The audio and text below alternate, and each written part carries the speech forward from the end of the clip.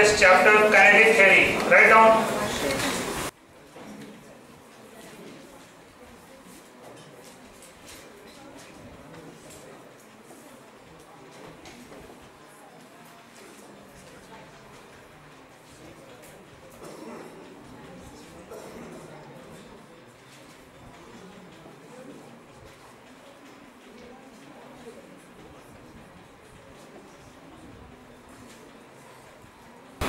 So in this chapter we are going to again learn about properties of matter only. But properties of matter we have already learned in the earlier chapter, right? We have learned about mechanical properties of fluid, mechanical properties of solid and thermal properties of matter. Okay? But we never went into what is the cause of the property. Alright? This chapter tells you that the cause of the property of all the matter is kinetic nature of the molecules or the atoms. Okay, it is because of the movement of molecules of the atom, it shows a property of temperature. It is because of the uh, movement of atoms and molecules, it shows a property of pressure. Because of that, there is a property of heat capacity. Because of that, there is a property of conduction of heat, alright, or radiation of heat. This chapter creates a conceptual foundation based on which you will understand actually what is happening at the molecule level. Because of that, it has certain properties. Alright? And the basic assumption over here is that all the properties arising because of the kinetic nature of the atoms of the molecules. Kinetic nature as in the velocity only. Alright? So now the first time this concept was getting developed people were more focused in understanding about the behavior of heavenly objects or the big object, universe, stars, suns and all that. So very few scientists were focusing on how the small particles behave. Dalton was one of the first pioneers who have assumed that there exists a fundamental particle which is atom. Alright, and of course in our uh, in in our ancient literature, have you heard of term called Adu? Anu and Anu nahi, Adu. This. Right? So, what does this mean? Adu is the atom only. It is a Sanskrit name of atom and it has been coined much before. But the problem in India was that nobody will listen to scientific knowledge. So scientifically it was never documented properly. So they, they will tell you some, some emotional story attached to it and then only you will understand. So they will have to tell you that every morning you have to do prayer and you should take bath otherwise the God will be angry and he will punish you. And actually they want you to they want to tell you that take bath, you will be clean, so you will not get any disease. But they will have to attach emotion and listen, there is God who will become angry if, if you don't take a bath before prayer and every morning you have to take a you have to do a prayer. Alright? So like that, people have to build stories around it. Okay? And because of that, a lot of scientific knowledge of ancient India never got documented properly and even if it was documented, it was documented on leaves. So people have this habit of writing on leaves and of course it will decay, right? So, and have you heard of Takshashila, Nalanda and all that? Okay, a lot of knowledge was there, but a lot of uh, textbooks were destroyed by the people who were attacking India from that part of the country, alright? But then yes, when it comes to credit, the Western people, especially Greeks, were much smarter. They used to write on the copper plate. That will not decay very fast. Right? So they get all the credit. They get credit of Pythagoras theorem also, which was discovered much, much before. Okay? But then yes, let us learn like that. You can't write in an exam that no, Dalton did not propose this. One machinery has done this. Okay? So Dalton was the first person who has observed that whenever two matter combine, they combine in a specific ratio and they are integer ratios. What does it mean? If hydrogen and water has to combine, they should combine in a ratio of 2 is to 1. Okay, it cannot be less than that. It means that hydrogen atom is indivisible. Are getting it? So from there on, people has uh, assumed that there is something called atom. No, nobody had seen atom that point in time. Okay, but just because of this observation, Dalton came up with the theory that there is atom that exists and that cannot be divided further. But of course, atom can be divided. Later on, people have found out that there are electrons, protons, and even electron proton can be divided. Okay, but having said that, atom you can treat as if it is a smallest unit which has all the property of the bulk matter. Okay, so you can divide hydrogen atom and take out proton. Proton of hydrogen and proton of chlorine has no difference. Same. The difference comes when it becomes an atom. So hydrogen atom is different from chlorine atom. Hydrogen electron is same as chlorine electron. Okay, so that is why it is better to study at the atomic level and not go down further because then it will become more generic. Okay, so Dalton was there, Gay-Lussac was there, then Avogadro was there who has assumed that atomic model is the correct model but at the same time there are many uh, scientists and great scientists who were opposing the idea that the matter consists of these small atomic particles alright so it has taken a lot of uh, opposition and slowly and slowly it got evolved and then experimentally it got proven much later okay so various people have contributed to it then in order to understand the atomic nature of any matter, how atom behaves, we are going to understand how gas behaves.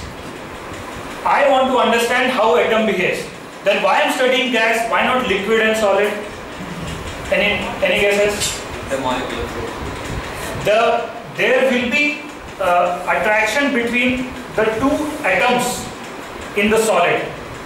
There will be lattice structure in the solid so it is not only about how one atom is behaving, alright? Whereas in gas, I can ignore the attraction or repulsion between the two molecules.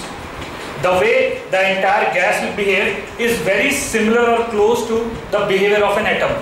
So I can extrapolate or interpolate the behavior of entire gas, I can say that similarly one atom might be behaving and the way one atom is behaving, similarly the entire gas gas will behave. So that is why the analysis of gas or the ideal gas equation is in this chapter to understand how gas behaves. That is the way the atoms will also behave. But if you do the analysis of solid, it is not just about how individual atom behaves, it is also about how two, three atoms together will interact. Fine? So when the when the analysis of the gas started, people had no idea that ideal gas equation exists right but they have this idea that there is something called pressure you can measure the volume and you can measure the temperature also with degree celsius scale or kelvin scale whatever would be right? Now they started to uh, do research on how these variables are connected if there is a connection. Or these variables are independent of each other. Is pressure has to do with temperature or not? Or pressure is independent variable, temperature is independent variable, volume is independent variable, they are just not depending on each other, right? So there were great scientists like uh, this uh, Charles law is there, Boyle's law is there, all these guys without knowing ideal gas equation, they have done research and found out a relation between volume and temperature, pressure and volume, and pressure and temperature. Fine. So, what is Boyle's law? You know that? Pressure into volume is constant at, at a particular temperature. Okay?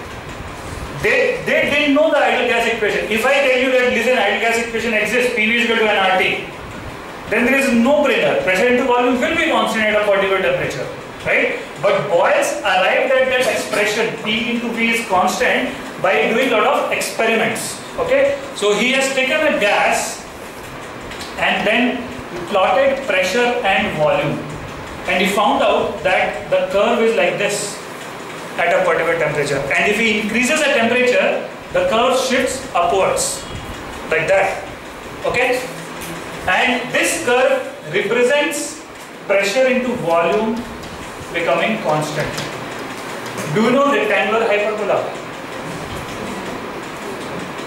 Do you know, have you done a basic course on plotting graphs? I think in, base program it was there. So can, can you quickly plot a graph of x into y is equal to 5? Plot x into y is equal to 5 on a graph. Just roughly plot it. Done? Done? So if you plot x into y, a constant,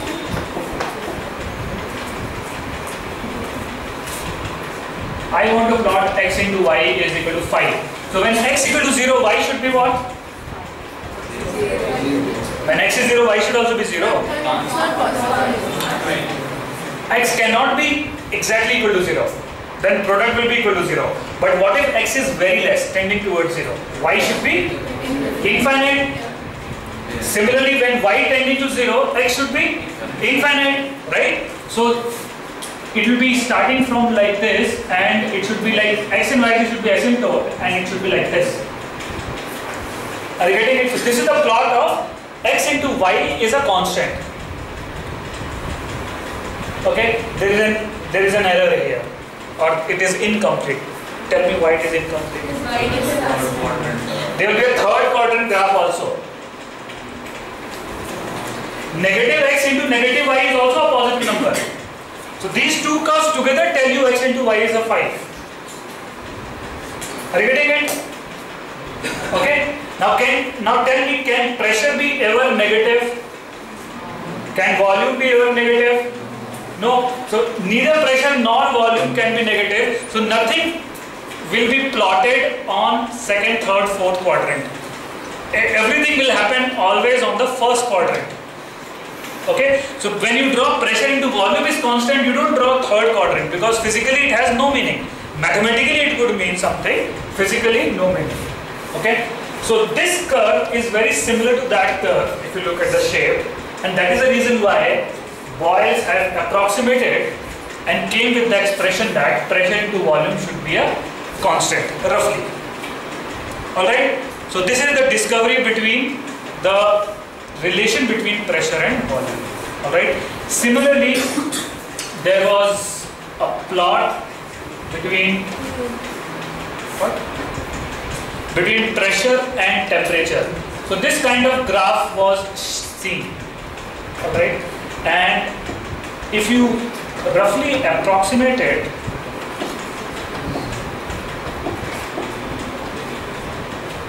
you will you can approximate it to be a straight line right? So you get curve like this or you get curve like that. So roughly it represents a straight line. So pressure is directly proportional to temperature. That was also found. Okay? So two relations were found. Pressure into volume is constant and pressure is proportional to temperature. Okay, and similarly, volume is proportional to temperature. If pressure is constant, are? Whenever I am plotting two variables, I am keeping third variable constant. When I am plotting pressure and temperature, which is constant? Volume is constant. And when I say volume is proportional to temperature, pressure has to be constant because you can keep everything inside a pressure cooker, keep volume fixed and increase the temperature. Okay, then only pressure will be proportional to temperature. But pressure is constant, right? Sorry, the volume is constant. So volume will not increase because pressure is not kept constant. Getting it? Alright. The three relations we have seen. PV is constant. Write down pressure is proportional to temperature and volume is proportional to temperature. At constant volume, at constant pressure, at constant temperature.